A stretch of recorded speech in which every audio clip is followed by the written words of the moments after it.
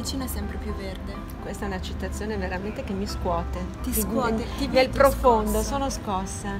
Le vite, sai una cosa? Mm. Io quando la sera magari cammino, guardo nelle finestre illuminate e mi immagino chissà cosa sta succedendo in quella casa in quel momento. Magari ci sono due che stanno litigando, si stanno per lasciare, oppure sta nascendo una grande storia d'amore, c'è qualcuno che muore, c'è qualcuno che nasce. Ti dirò che la capisco come cosa, perché quando sono in giro, ad esempio, non so, sui mezzi pubblici, guardo sempre le persone e eh, magari quelle che sono insieme, in gruppo, in coppia, e cerco di capire la relazione che c'è tra di loro, quanto sono legate, quello che si raccontano.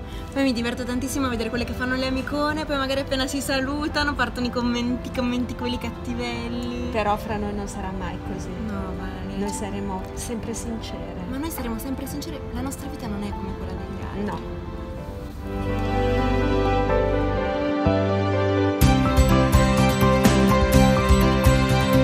Se potessimo vederci con gli occhi degli altri, scompariremmo all'istante. Le vite degli altri, questa puntata la iniziamo con una citazione di Emile Cioran. E, mm, noi però non scompariamo, noi siamo sempre qui, sempre presenti, non scoloriamo dalle vostre vite. Le vite degli altri, la vita di un'altra, ma non di un'altra qualsiasi, la vita della nostra Valeria, che è piena di tutte le cose che noi ancora non sappiamo, ma che grazie a lei scopriamo. Ma sono alla fabbrica del vapore dove hanno allestito, come puoi vedere, una serie di eh, gazebo, prati, orti, eh, proprio per chi ha voglia di mm, fare una passeggiata. Qui ci sono dei tavoli dove puoi mm, fare picnic.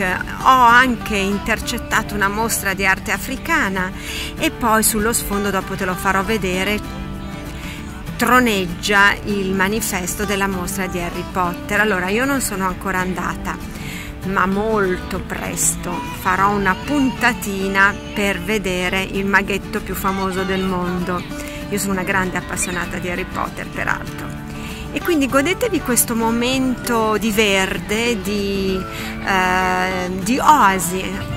Sabato poi c'è il mercato della terra, non tutti i sabati, il primo e il terzo sabato del mese c'è il mercato della terra dove ehm, vengono venduti prodotti eh, di, che arrivano dagli orti, un po' pane, verdura, frutta, insomma, venite qui a rifornirvi, fabbrica del vapore. Ciao!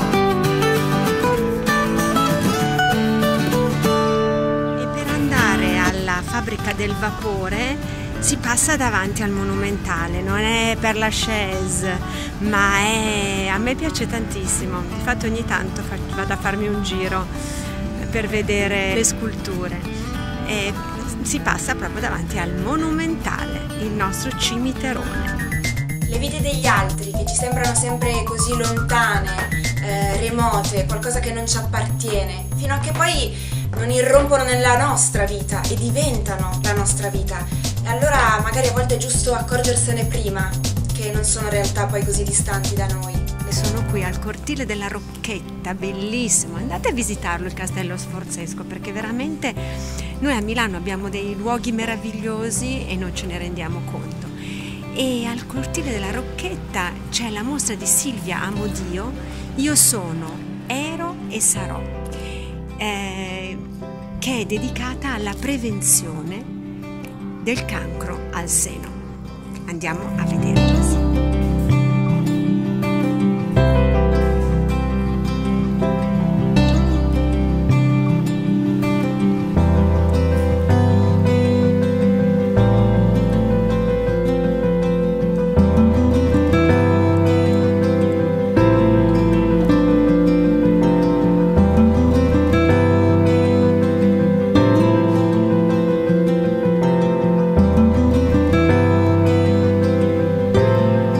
Messaggio molto importante quello che ci lascia appunto la mostra Io sono ero e sarò di Silvia Modio ed è quello che bisogna prevenire. Quindi ditelo a voi stesse per primo, ma anche alle vostre figlie, alle amiche, alle cugine, a tutte le donne. E se siete un uomo, fate la stessa cosa. Prevenite, prevenzione.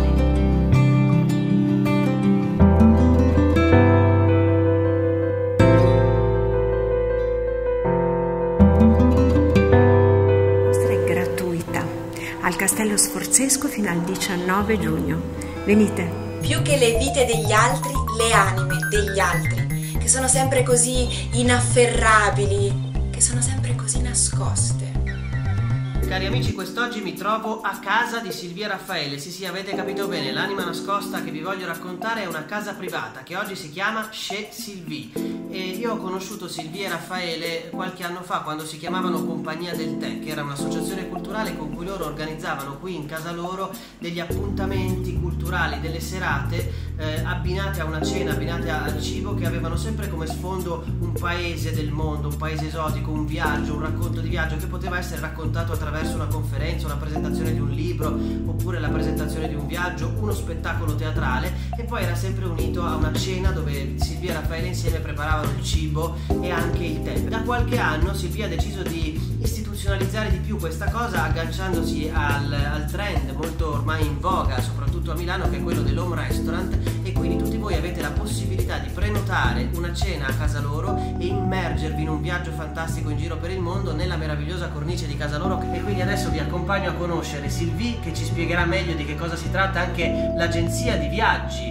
che potete cominciare ad assaporare in casa sua e Raffaele che invece è un grande esperto di cerimonia del tè. L'avventura inizia nel 2009 quando con Raffaele decidiamo di aprire la nostra casa a degli sconosciuti per degli eventi culturali ad ampio spettro, dalla presentazione di libri di poesie a romanzi. Io sono un agente di viaggi e quindi proporre il mondo in modo diverso è una cosa che mi è piaciuta. Unire proprio le mie due anime, quella dei viaggi e quelle del cibo, per creare Chez Sylvie, invenzioni culinarie e viaggi da raccontare. Nel mio home restaurant organizzo delle serate a tema dove la parte culturale viene sempre comunque offerta, donata da noi agli ospiti e quello che si paga è sostanzialmente solo la partecipazione a una cena piuttosto che a una degustazione. Un evento divertente è stato il tè incontra il vino e gli strizza l'occhiolino.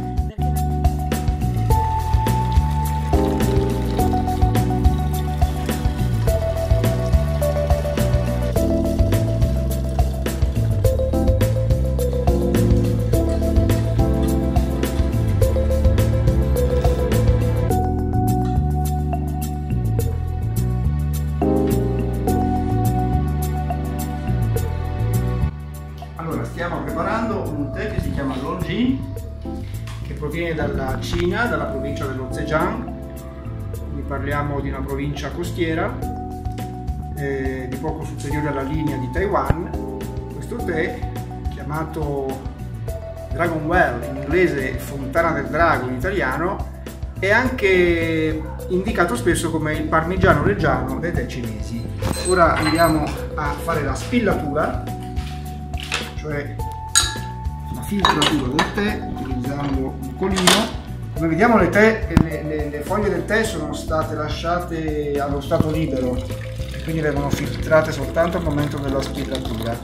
In questo modo l'infusione avviene nella maniera più corretta perché le foglie sono libere di muoversi in tutto il vaso di infusione con le loro correnti convettive che le spostano dall'alto verso il basso. Le abbiamo scelte svasate perché nel periodo caldo dell'anno la tradizione vuole che la tazza sia aperta per favorire il rinfrescamento della bevanda, mentre d'inverno si preferiscono delle fogge più chiuse.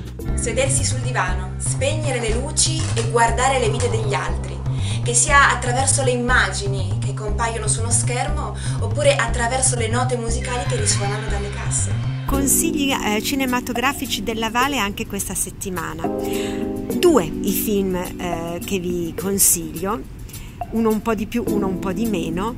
Eh, allora, il primo è, mh, mm, vi do un indizio, il regista è stato protagonista di Happy Days, quindi Ricky Cunningham, Ron Howard, e il film è solo il prequel di Star Wars. Allora, sono andata super negativa, ma avevo promesso a Tobia 8 anni che l'avrei accompagnato. E devo dire che invece poi alla fine queste due ore e un quarto perché sono due ore e un quarto di film non mi sono affatto dispiaciute Eh, ma passiamo al secondo. Il secondo, vabbè, il secondo è un film che si intitola Ippocrate, anzi siccome è francese, Hippocrate. Eh, è un film francese, come ho già detto, e quindi mi piace, già così. e, e, in più parla di, della vita di corsia d'ospedale, quindi mi piace doppiamente. Quindi avete capito che il film mi è piaciuto. Eh, è un film piccolo, non racconta grandi cose, ma la storia di un giovanissimo eh, medico alle prese con tutto quanto avviene in un ospedale. Eh, ha un bel ritmo, è interessante, ha un taglio quasi documentaristico. Io ve lo consiglio. A proposito del cinema di Vale, c'è un film che ha proprio il titolo di questa nostra puntata, Le vite degli altri, a cui sono profondamente legata. Ne sono da un lato molto spaventata, però da un lato lo ricorderò sempre come uno dei, dei film più belli che io abbia mai visto legato a un momento guardate le vite degli altri, se non l'avete ancora guardato, ve lo consiglio davvero. E a proposito di ciò, rimaniamo in tema e il libro che vi consiglio questa settimana è L'amico ritrovato. E vi leggo una citazione. Per la prima volta mi resi conto della mia infinita piccolezza e del fatto che la nostra terra non sia altro che un sassolino su una spiaggia dove di sassolini esistevano milioni. E allora se anche la, la Terra è soltanto un sassolino tra un'infinità di sassolini, alla fine lo è anche la nostra vita, una pietruzza in mezzo a miliardi di pietruzze. Allora sta a noi rendere la nostra pietruzza speciale. Ah, Fuori Campo è il terzo album in studio del gruppo musicale Dei Giornalisti, pubblicato nel 2014 dalla Fulica Records. In quest'album troviamo sonorità e parole che ricordano i grandi cantautori del passato musicale italiano, a partire da Lucio Dalla, passando per Lucio Battisti, fino ad arrivare ad Antonello Venditti. Fuori campo fu il disco della svolta per la musica indipendente italiana, che da quel momento cominciò ad essere trasmessa anche dalle radio private. Il primo disc jockey a passare un pezzo dei, dei giornalisti fu Federico Russo nel suo programma su Radio DJ, che fece conoscere alla nazione il timbro vocale di Tommaso Paradiso. Ogni canzone del disco eh, la si vorrebbe urlare a squarciagola e senza freni, con testi capaci di far vivere sulla pelle dell'ascoltatore le sensazioni proposte, anche quando queste non parlano di esperienze vissute. Tra i tanti bellissimi brani, il mio consiglio di oggi va mh, mm, su una canzone per me molto importante che evoca un periodo felice della mia vita. Si intitola La fine dell'estate. La mia malinconia è tutta colpa tua, è solo tua, la colpa è tutta tua e di qualche film anni 80. Buon ascolto. E invece forse Lara Vai e Marco Rigamonti avrebbero voluto essere nella vita di qualcun altro in questo periodo perché la loro è stata eh, complicata, intensa, piena di prove, però ora vi diamo la dimostrazione che progetto Matilda, eh, nel 2018 è il suo secondo anno, abbiamo iniziato l'anno scorso questo diciamo, eh, link con Londra e con la Shakespeare House. E vede questo progetto londinese che è campione di incassi da 13 anni ormai approdare a Milano. Eh, MTM è l'unica sede milanese che, di questa Academy, ce ne sono 14 nazionali, e che ha visto coinvolti in questi praticamente due anni di lavoro più di 60 ragazzi e durante i workshop centinaia e centinaia di bimbi coinvolti.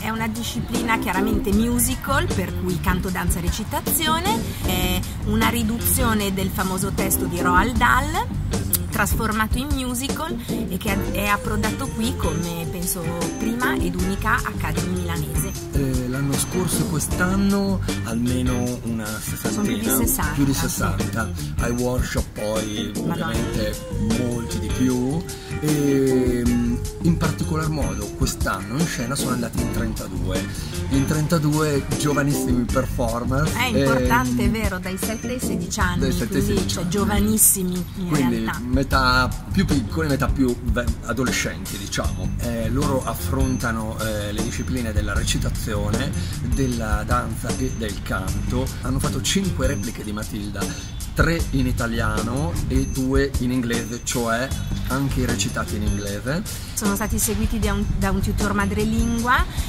Eh, per cui questa cosa è importantissima perché come dire, il progetto formativo è bilingue, che è una peculiarità importante. Per una volta che lo vedi questo spettacolo hai veramente voglia di interpretarlo. Per cui siccome è un musical familiare ehm, sono venuti tantissimi bambini a vederlo e credo che molti di loro troveranno l'audizione per entrare. Che la vita sia degli altri o la vostra, rendetela più croccante con il pane di Elena.